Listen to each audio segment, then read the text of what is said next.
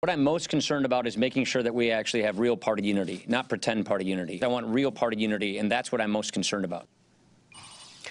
Just moments ago, House Speaker Paul Ryan on the Trump candidacy and Clinton's email troubles as well. Joining me now is Michael Steel and John Feehery, both former aides to former House Republican speakers. Uh, well, first to you, John Feehery. Paul Ryan is in a truly awkward situation here. Uh, when can you recall a House Speaker not endorsing the nominee of his party? And Donald Trump went over the top today.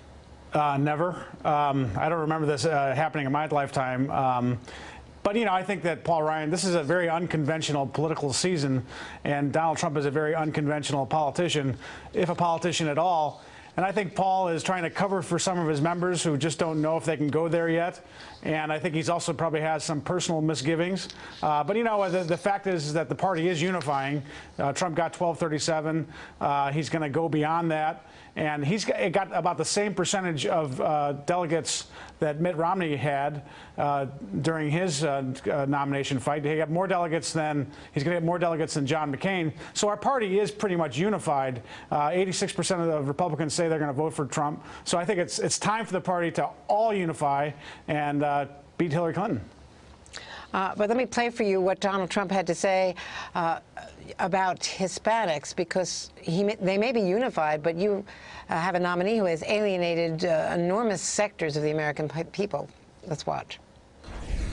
My relationship with Hispanics is fantastic. Um, I know so many, so many friends. They buy apartments from me, they rent apartments from me, and I have so many employees that are Hispanic. They're incredible people.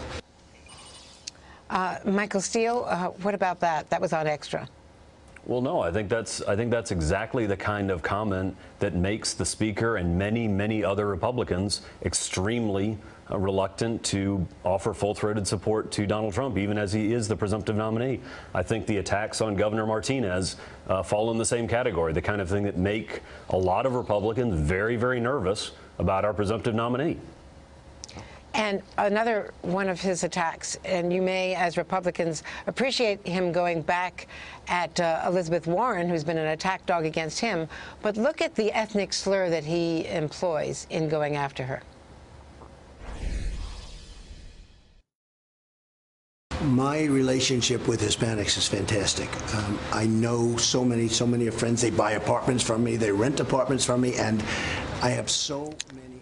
And that clearly was not the right the right clip. I think we were we were referring to, of course, him going after Elizabeth Warren and referring to her uh, by the nickname Pocahontas. I think we have it here. Did you ever hear Pocahontas? Huh?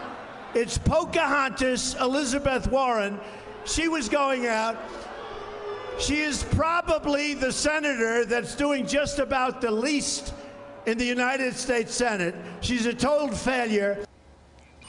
There's been a lot of conversation about the Trump-Warren matchup, but very little uh, has has been said about the ethnic slur in referring to her as Pocahontas. John Feehery? Oh, yeah. Well, listen, I think, uh, listen, uh, Donald Trump is politically completely incorrect. He says things that are completely outrageous, and that's both his greatest strength and his greatest weakness because he's not not a politician. He doesn't talk like a politician, and he says things that are completely out of bounds. And uh, you know, it, it's it's part of his charm and part of his greatest weakness. And Michael Steel, you know, says right there uh, the the nervousness of some Republicans to, to support him because he is so politically incorrect. Uh, Michael Steel, what do you expect Paul Ryan to do as he tries to bridge this gap? Well, I think he's going to continue working with uh, the presumptive nominee to try and find some common ground, find a place where he can get comfortable. I think as Republicans, what we all want is a nominee that we can be proud of, that we can have real unity around and really support going into November. Because the important thing to remember here is that the, the alternative is most likely Hillary Clinton. And as we saw again with the IG report this week, she has extremely questionable judgment about crucial areas, including national security. So we think she would be a disaster for our economy, a disaster for our national security, and we hope we can get to a place where we can all get together and unite behind a, uh, our nominee and beat her in the fall.